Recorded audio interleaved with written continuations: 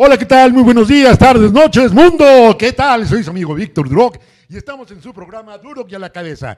Y el día de hoy vamos a hablarles de una obra muy, muy, muy bonita y bueno, que se refiere realmente, eh, bueno, más bien en estos tiempos que vamos a celebrar el Día de los Muéridos, de los Muertos, este, para todo el mundo sabrán, tal vez por la película de- de James Bond de Spectre, la gran fiesta que se hace eh, en México recordando a nuestras personas que ya se fueron.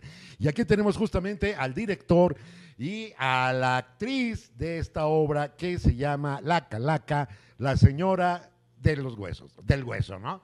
Bueno, tenemos con ustedes a Aldo, que es el director, y tenemos a Laura Mónica Rodríguez, que es La Calaca. Entonces, bueno, muchas gracias, Aldo, por estar aquí. De verdad te lo agradezco mucho. Y este, Laura, también muchísimas gracias. Entonces, bueno, cuéntanos, Aldo, cómo surgió este proyecto. Primero que nada, muchas gracias, Víctor. No, hombre, Muchas un gustazo. al público que, que nos sintoniza. Gracias a Orbe Network que nos abre las puertas. Y de verdad que para nosotros es un placer y un gusto estar aquí con todos ustedes, anunciando eh, e invitando a la gente a una tradición verdaderamente mexicana y a celebrar el Día de Muertos como se debe. Con un dramaturgo mexicano, con los grabados del maestro José Guadalupe Posada, por supuesto. Maravilloso, maravilloso. Un elenco de primera, encabezando con la maestra Diana Golden, Diana, saludos. eh, la compañía de las cornamentas, que ya llevamos un ratito en, en el circuito, y con un ballet que, a que les cuente Laura. A ver, cuéntanos, Laura, del ballet. Claro que sí. Eh, el ballet folclórico Naucalpan, que es quien nos va a acompañar con, con unos números eh, dentro de esta obra, porque la obra el maestro Argüelles la pensó que fuera el teatro, pero con música tradicional mexicana que se compuso en su momento para la obra. Ahorita entra con una música más eh, actualizada, obviamente, pero dentro del folclore mexicano. Y entonces entra el ballet haciendo estos bailes tradicionales. El ballet eh, folclórico ya lleva un ratito también de la maestra Magali Montoya. De hecho, ellos están eh, dando clases normalmente en el Centro Cívico de Satélite y en el Naucali. Todos somos norteños. Sí, sí, sí, están hasta Sí, sí, allá. un poquito lejos. Y entonces eh, entran estos chicos, que además es maravilloso porque son chicos muy jóvenes. Entonces es la juventud mexicana manteniendo viva esta tradición de la danza folclórica. No, eso es una belleza. Porque no sé, a lo mejor no sé si a ti te tocó, digo, a mí no me tocó, pero a mis compañeras de generación, digamos, que daban danza folclórica en la escuela y Sí, ahorita ya no. sí. Entonces, eh, pues se perdió un poquito ese rollo y ahorita están retomando ellos esa parte y la verdad es que va a engalanar mucho la obra porque pues te pone también esta fiesta, ¿no? A veces los extranjeros este, se espantan porque dicen, es que festejan la muerte. No, recordamos a los que se fueron y celebramos a los que siguen vivos, ¿no? Entonces Celebramos es- la vida, claro. Exactamente, entonces es recordar la muerte porque al final todos vamos a llegar ahí, pero celebrando que seguimos vivos y que seguimos estando aquí, ¿no? Y eso hace la danza también, recordar que, pues, digo, obras como La Llorona, ¿no? Que es un son precioso, Ah, también, ¿no? La Llorona, que, que está es uno de los por ahí, números. que va a ser la próxima, ¿no? Que van a, a- a- a poner en escena. Sí, es, es una obra de la maestra Doris Camarena, que, Ah, que Doris a lo mejor muchos la, la conocen, es una, Sí, una gru- excelente guionista, sí, escritora. sí, De, por ejemplo, del Pantera, ¿no? Que Es también correcto. de la serie. así Estuvimos es. haciendo hace poco unos eh, como especie de podcasts de leyendas mexicanas y nos divertimos a lo grande de la maestra. Y a ella le gusta escarbar en la historia, tratar de encontrar a estos monstruos mexicanos, monstruos prehispánicos, monstruos de la colonia Claro, claro. y contarlos, ¿no? Entonces, hemos participado con algunos eh, para su revista virtual que hacen, pero es delicioso, la verdad. Y no hay como, no hay como salir de un teatro, como salir de, o de que veas incluso la tele y que se te hinche el pecho de orgullo, ¿no? Por supuesto, claro. no, hombre, sí, esto es el Viva México de a de veras. Sí. Eso es, y e- eso es lo que tratamos de hacer con Calaca, que el elenco que traemos son de verdad eh, puros actorazos tremendos, gente que, que pues solo si vas al teatro los conoces, ¿no? No son de televisión, eh, por circunstancias de la vida, Incluso yo tampoco, pero por circunstancias de la vida llevo ya más de 30 años en escenario, ¿no? Bueno, y es que realmente el teatro es lo que te forma como actor. Así es. El teatro es después, ya después te puedes ir diversificando para televisión, para cine, pero el teatro es la base.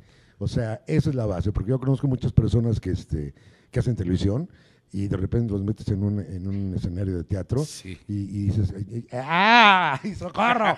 Más sin embargo, si pones a alguien de teatro en la televisión, te lo hace sin ningún problema, en el cine sin ningún problema. Una cosa que yo sí les quiero decir, aprovechando esto, Sí. a las nuevas generaciones y a los chicos que estén estudiando actuación, este, o que quieran ser actores, más bien que quieran salir en la tele y esto, estudien chicos, realmente estudien, porque bueno, ahora a pesar del internet y todo eso, en las escuelas en donde- es donde van a encontrar las, las oportunidades, porque ahí van los productores a buscarlos y sobre todo hagan teatro, porque también en el teatro ahí es donde los ven, porque si ustedes hacen una telenovela, un comercial, una, una serie, eh, la gente no va a ver realmente toda su capacidad histriónica. Y en una obra de teatro puede haber muchas mayores probabilidades de que, de que, este, de que vean más de ustedes. Perdón que te haya interrumpido. No. Continúa. Y, y yo creo que tiene mucho, eh, gran importancia esto que mencionas. A nosotros ahora volteamos a ver eh, todo lo que se hace en Hollywood. Sí. Estas series de superhéroes, de, de Marvel, de DC. Y lo que vemos son puros actores ingleses y, y europeos. Sí, Y lo curioso es que ellos nunca dejan de hacer teatro, ¿eh? exacto, exacto. Y, y- y dices, ah, ¿cómo actúa bien? Y es algo a veces tan absurdo lo que está haciendo. Pues es Iron Man, o sea, es algo. Es este el Doctor Extraño y. ah, Sí, mueve sí, acá y- sí, sí, sí. Y hasta ellos yo creo que les da risa, ¿no? No, y aquí vas a sacar un anillo de poder y le das vueltas, y entonces está regresando el tiempo. Y tú como actor, eh, ok. Eh, ah, perfecto. Pues dices, eh, ¿cómo lo logran? Y yo creo que lo logran con esa imaginación. Claro. Que solo te puede Jugando. dar, el- dar el contacto con el teatro, ¿no? Y, y- y que el teatro es trabajar con la energía que te da la gente. Así es. Ah, yo creo que no hay nada más maravilloso. Y de verdad que traemos, eh, eh, por ejemplo, también, además de Diana Golden, está Luis Domingo González, está eh, Aponte, saludos a Aponte, a César Guzmán, está eh, Ah, Tan- César también, claro, Sí, claro. a César sí lo Tani. González, Sí, sí, sí, sí, sí. este, Fernanda Caso, ah, Elena Jaramillo y Que Elena, aparte de actriz, ella ha trabajado mucho con producción y es TikToker, entonces ahora que, que todo, Ah, todo este rollo moderno, ella también es, es TikToker y sobre todo algo que ha hecho la compañía y que bueno, mucha gente quizá que está viendo y que dice, es que yo quiero ser actriz, pero no soy bonita, no tengo un cuerpo perfecto, no tengo tales medidas Mm. y es algo que nosotros siempre hemos dejado de lado. O sea, la compañía, les digo yo que somos el club de los corazones rotos, porque con nosotros ha llegado mucha gente que en su momento. los fue corazones de talentosos. exactamente. No. Pero rotos porque los han rechazado. Sí, a no, claro, de y otros eso se sigue lugares, ¿no? dando y Que se te- da y se da que y- te dicen, no porque no eres blanquita, ¿no? O no porque no eres delgadita, o no Ujú. por. Y acá. No, pero, han pero en México no pasa eso. No, No, no, no, en otros. No, países. otros en otros- países. O sea, en México, puta, yo Ca- creo que va a la no cabeza, pasa, ¿no? sí, o sea, en sí. Ecatepec, pero aquí en la Roma no pasa. No, pero yo creo que va a comparación de dos a la cabeza, o sea, pum, pum, pum, pum. Sí, claro. Exacto. Porque no, no hablo más. Sí, exacto. Entonces, este, Pero bueno, hemos aprovechado precisamente ese talento y de verdad eh, que, que lo hacen de una manera maravillosa. Entonces ella ahorita con esta confianza que le dio trabajar en teatro, precisamente, Exacto. fue que empezó a hacer todo esto de los TikTok, ¿no? Y ahorita ya tiene bastantes seguidores Sí. y allá Sí, que también ese es otro cambio, así que de repente, Sí. híjole, así como dijiste ahorita, ching, así jugando con el Iron Man, te encuentras con los TikToks y dices, ¿qué, qué pedo, no? O sea, ¿qué, qué onda con esto? ¡No! Pero, Pero, que, bueno. pero que vean eso, está, ¿no? Como está. decía Aldo, Benedict Cumberbatch, por ejemplo, que es un actor que mucha gente dice, ay, wow, qué actorazo. El señor no ha dejado de hacer el teatro de Shakespeare. Claro, y, y se dan los tiempos entre sus películas de Hollywood. Pa- y él ha dicho que nunca va a dejar el teatro, ¿no? Macaboy no, no, también, o sea, todos ellos Sí. hagan lo que hagan, están en el teatro. Y lo que decías de la diferencia, en la pandemia sacaron Frankenstein con un actor eh, que hacía también Sherlock Holmes, pero en Estados Unidos, que salía con Lucy Liu, no me acuerdo cómo se llamaba, bueno, la serie no me acuerdo cómo se llamaba. Elemental creo que se llamaba, Eh, y hacen ellos dos los personajes, el doctor y el monstruo. Pero uno solo ha hecho televisión, que es el que hacía esta serie gringa, sí, y sí. Benedict estaba en el teatro. Claro. Se ve la diferencia o sea, Notoria. ah, sí. Sí, O cambio de energía, pero gruesísimo. Los dos son muy en buenos actores, pero... En mo- en Sí, pues sí, es que... un pues, Frankenstein claro, tremendo que hacen, a- hablando de monstruos. Claro. Ah, también tenemos eh, un regreso al teatro de una gran amiga que se llama Sunya, Ajá. Sunya Gursa, eh, maravillosa, y el debut de su hija, Saori, que es una niñita así. Chiquitina. ¿Qué edad tiene? Uy, tiene que será Cinco o seis cinco años. Ah, Sí, está chiquita. Y es nuestra calaquita. Realmente ella fue nuestra primera calaquita, pero estaba de brazos, Ajá. Estaba recién nacida. recién nacida. ¿no? Wow. Y, bueno, por la maternidad un poquito se alejaron del teatro. Ajá. Y ella ya está ahora haciendo novelas y está haciendo todo, Comerciales, etcétera. Chiquitina. Y le gusta. Oh, Sí. Es que eso es lo importante. Es la No, más y- emocionada. Y lo trae en la sangre, porque Sunya, ella, Sí, claro, ella claro. es hija de Miguel Gursa, que en paz descanse, que es quien eh, colaboraba con todos estos animales que se usaron para el cine, para películas, para novelas, etcétera. y además su mamá pertenece a la dinastía Valdés, entonces Ah, ok. ella Sí. pues ya lo trae. Saludos, ya lo trae, chamacos sí, ya lo trae en la Valdesianos. sangre. Es correcto. Oye, este, bueno, mira, este, queridos, tenemos unas imágenes de, de la obra de teatro esta de la Calaca, la Ah, señora sí, del cartel. hueso, o la señora del hueso, Es eh, Calaca, Nuestra Señora del Hueso. nuestra señora del hueso. Entonces tenemos unas imágenes para que vean y se den una idea. Y ahorita ya les vamos a decir en dónde la pueden ver, los horarios y todo, pero véanla para que se empiecen a emocionar. Y hay que apoyar al teatro mexicano. ¿Tenemos las imágenes por ahí, Fer? Ajá, entonces, este, bueno, seguimos mientras aparecen las, las imágenes. Que, pues como es el... Cuando es Día de Muertos pasan muchas cosas, ¿eh? O sea, No, sí. sí, cuando es Día de Muertos pasan muchas cosas, como que de repente no aparezca la imagen. Sí, O sea, no, sí, exacto, la, la energía como en el teatro, ¿no? Ya ves que en el teatro en siempre teatros, te pasa, ¿no? te bajan Siempre el te volumen, Sí, se sí, mueven es las interesante. ¿Puedes velocidades. contar a todo Oye, lo que nos pasa en, ¿En los serio? teatros? Sí. Cuéntanos algo, algo, una anécdota. Ah, una Así anécdota. chiquitita antes de que empiecen la... Eh, ya cuando la, la muérida diga, ahora sí pasan las imágenes. Ok. Fíjate que cuando se estrenó nuestra primera obra de la compañía, Ajá. eh, se nos movía el audio. O sea, se aceleraba la canción y se retrasaba. Sí, te Y estaban ensayando y me gritan, me dicen, ¿por qué no le pusiste la canción? No le muevas. Y yo salgo del otro lado de, yo no estoy junto a la ahí. computadora, no, yo estaba en otro lado. No, y además, aparte, súmale a eso que la tecnología no tiene palabra, ¿no? Sí, no. Sí, no, bueno, todavía había CD en ese entonces, ya ahora ya no. Ah, Pero me acuerdo que estábamos actuando y era un teatro muy, muy grande, estos que todavía tenían paso de gato. ajá. Y arriba en el paso de gato veíamos a alguien ahí trepado así, todo torcido viendo la obra. Dije, ¿quién Como será? una sombra, Nada más sí. volteábamos y... pues, No, la, mejor fue aquí en el Teatro de ¿Y la pero qué? Pirámide. ¿No era nadie? No, era una sombra. Y lo mejor fue aquí en el Teatro de la, la Pirámide. No, ay, no, es- ese- esa, esa misma no, obra ese se estaba presentando. ¿Cuál? ¿Esta, la calaca? No, era ¿Cuál una que se llama La noche de las cornamentas. Ah, ok. Y estaba, se estaba presentando, nos regalaron un cuadro y lo Sí. pusieron en el escenario los muchachos, como, ay, para que nos dé suerte. Ajá. Están en una escena donde se confrontan los dos personajes y el cuadro no se cayó así, sino salió hacia el frente, digamos, como si lo hubieran empujado. así, como- Entonces así. cae, se estrella y obviamente salieron todos los vidrios por todos lados. El Wow. director y yo estábamos al fondo porque yo estaba de técnico. Nos quedamos los dos fríos y el público así como, ah, qué buenos efectos, no manches. ¿no? Bueno, pues, quiso participar, ¿no? sí, Y exactamente. salió mucho mejor, ¿no? Exacto, pero sí. Pero igual fue, fue, pues no sabemos qué pasó, ¿no? O sea, Sí, no, no. bueno, pero mientras haya sido para, para el bien de la obra, pues, claro. no creas, sí que se salimos repita, que se repita, ¿no? Yo salí huyendo porque al final de la función estaba recogiendo mi producción y por alguna circunstancia me quedé solo en el escenario. Uy. Ajá. Eh, y este teatro La Pirámide, pues había una pirámide Es prehispánica. el que está ahí en este periférico en ajá, exacto, ok, ok. sí, ese mero. Y estaba subido en una escalera y me jalan la escalera. Y vas para el piso. Y no había nadie. Y semejante, nada más me paré. O sea, no se resbaló, se No, la me- jalaron. No, sentí que la jalaron. Y ya nada más salí corriendo. Y nada más le digo una guarrada. Oye, es que se me olvidó alguien en el escenario, ve por él, ¿no? Una alfombra que habíamos llevado. Me dice, sí, voy. Y dije, no, yo ya no vuelvo a entrar. Y ya nada más viene, corre y corre con la, con, con la alfombra. Ya, ya, ya. ¿Qué pasó?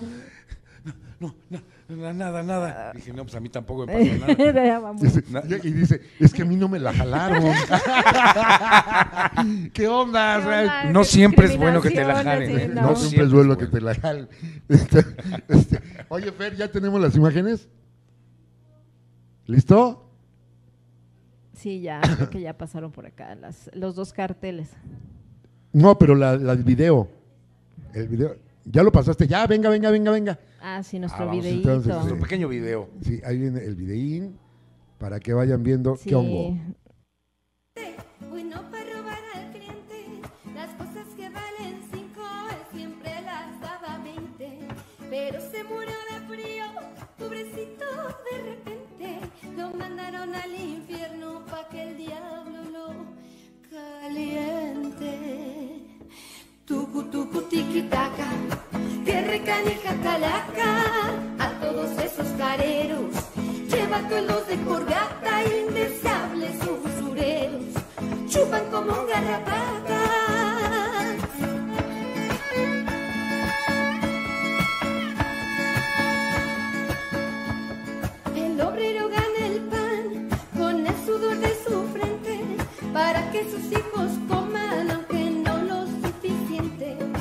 Mientras muchos abusivos viven violando las leyes, ganando lo que ellos quieren por andarse haciendo güeyes. Tucu, tucu, tiki, taka, que recanica calaca. Yo les pido una disculpa si es que ya metí la pata, aunque son muy parecidos. No es lo mismo güey que vaca.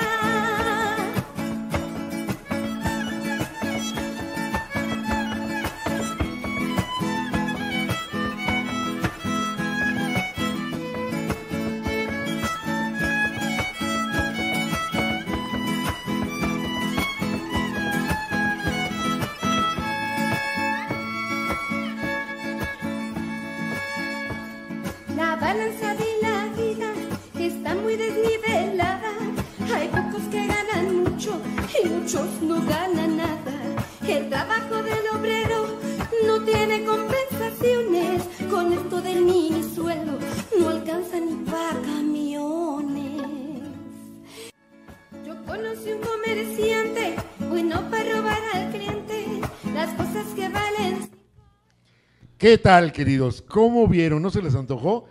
Está muy bonita y bueno, aparte, evidentemente, porque son 13, este, ya se me fue, farsas. Sí. Ajá. Y seis de ellas adaptadas por nuestro querido Aldo. Y entonces, este, pues está muy padre ese rollo. Vayan a verla, de verdad, vayan a verla. Antes de avanzar, ¿dónde se presentan? Bueno, eh, vamos a estar en el Teatro Enrique Elizalde, Ok. ahí en Hé- Héroes del 47, allí en Coyoacán, Ujú. eh, lo que era antiguamente el Teatro Coyoacán. Y vamos a estar el jueves 3 y el jueves 10 de noviembre a las 8 y media de la noche. Ok. Y hay grandes sorpresas. Jueves 3 y jueves 10 de noviembre. Sí. ¿A la qué horas de- me dijiste? 8 y media de la Ocho noche. y media de la noche. Solo hay dos funciones. Uy, dos funciones, Nada o sea, más. por favor no se la pierdan. Además está muy céntrico, está muy cerca de División del Norte, Así el es. Metro General El Mamaya. Ah, digo yo. exactamente. y este Eh, y, y ibas a decir algo. Sí, eh, que bueno, Que iba a haber muchas esto ha sido sorpresas. gracias a, a nuestra productora que se está arriesgando con nosotros, Rose Ávila, que le mandamos Rose. un saludo, Saludos, Rose. que es una mujer, mis respetos, ha estado al borde de la muerte dos veces este año y Por el COVID. No, Pues por otras, por otras cosas, por complicaciones, otras pero cosas, por, por las tristezas de la vida, pero esa es otra Ah. historia. Pero ánimo. Gracias a Dios eh, sobrevivió porque es una persona que, que apoya al teatro, Excelente. aunque pierda. Y que, bueno, siempre que apoyas al teatro pierdes, pero bueno, eso es otra historia. Tristemente. Por eso vayan, vayan. Exactamente. De verdad. Vayamos. Eh, apoyemos al teatro mexicano porque es nuestra identidad, es nuestro tesoro y es como la comida mexicana. Excelente. Cuando claro, sales de aquí, claro. eh, todos te premian. Y hay grandes sorpresas porque vamos a dar al final un cóctel eh, para todo el público. un cóctel. ajá. Un cóctel eh, y tacos de canasta. ¡Ay, qué rico! Para que puedan convivir con el elenco, para que puedan Ah, convivir mira. con el elenco. Mucho me- para Lo que tomen lo- la foto. Exactamente. Exactamente, para que lleguen con su Lo que casa. ahora le "Mira, mira, llaman. salí con Diana Gold". Exactamente. Que por cierto, Diana, eh, mucha gente no sabe, pero Diana no solamente es actriz, que es como mucha gente la conoce. Diana fue No. alumna del maestro Argüelles Sí, y de hecho es dramaturga. Así como- Así También. es, así como Aldo. Entonces, A- a- a- Diana también ha escrito teatro. Exactamente. Igual que Doris Camarena también fue Ah, sí, amiga y alumna claro. del maestro Argüelles. Entonces, eh, es toda la- todos los hermanos Argüelles. También Gerardo Luna, que es el director de Sogem, que precisamente Ah, también nos cobija claro. en este Saludos. teatro. Él también estuvo con el maestro Argüelles. Entonces, ahora sí que están haciéndole sus alumnos eh, y amigos pues un homenaje, ¿no? Con su trabajo en esta, en esta puesta en escena. Pues yo creo que les va a ir muy bien y de verdad qué Muchas bonito, este, más bien gracias por estar haciendo esto para rescatar las tradiciones mexicanas más en estos tiempos que, que muchas cosas han cambiado y van a cambiar más todavía. Entonces rescatar eso, porque México es grande, México tiene mucha cultura, desde gastronómica hasta de, de todos lados, histórica, ta, ta, ta, ta, ta, arquitectónica, de, de Claro. todo. México es un gran país, por eso ha soportado todos los embates que nos han puesto, pues, ¿qué, qué les digo? Todos los gobiernos, ¿no? Pero México no se cae, México está arriba y precisamente por eso no se aprovechen, o sea, al contrario, apoyemos, apoyemos siempre a, a- a México en, en todo, en todo. Y sobre todo, y en este caso, pues evidentemente con el teatro, con la cultura, que la cultura es algo que no se debe perder jamás en este, en este bello país. Este, redes sociales. Eh, Estamos en Facebook como Calaca Nuestra Señora del Hueso, así completito lo ponen en el buscador y ahí aparece el nombre. También estamos como La Noche de las Cornamentas, es la página de la compañía. Y también en WebNode, que se llama esta página que te permite hacer este, páginas web, tenemos eh, La Noche de las Cornamentas, Eso yo no la compañía teatro. Es donde está toda la información, sí, claro. Y ahí pueden entrar. Y eh, también a través eh, de su servidora, que también como hago radio por internet ahí conecto, que es arroba lemonqe. Así me encuentran tanto en Facebook como en Instagram. Arroba lemon Q. QE, Q de queso, E de Ernesto. Así estamos tanto en Instagram como en Twitter, como en este en Facebook. Y ahí está pues toda la información obviamente de la, de la obra de teatro, ¿no? Más Perfecto. tiene precios muy accesibles en preventa o si quieren llegar directo. ¿Y, y dónde pueden adquirir los boletos? Eh, preventa lo pueden hacer a través de WhatsApp, eh, que es el 55 540 47 566. Ahí me mandan mensajito y Repítelo, nosotros. repítelo, Claro que sí, es se les va. 55 540 47 566. Ahí nos mandan mensajito y nosotros les mandamos su boleto digital que se los van a cambiar por el físico en la taquilla para que lo tengan de recuerdo. Excelente, claro. o pueden llegar claro. directo a la taquilla, pero ya sale más carito, o a través de Ticketmaster, pero obviamente ya sale más carito. Entonces, tienen esas tres opciones. ¿Sabe? Ticketmaster, la ventaja es que, bueno, lo puedes comprar con tarjeta, ¿no? A, a meses sin intereses, Eso esas sí. cosas.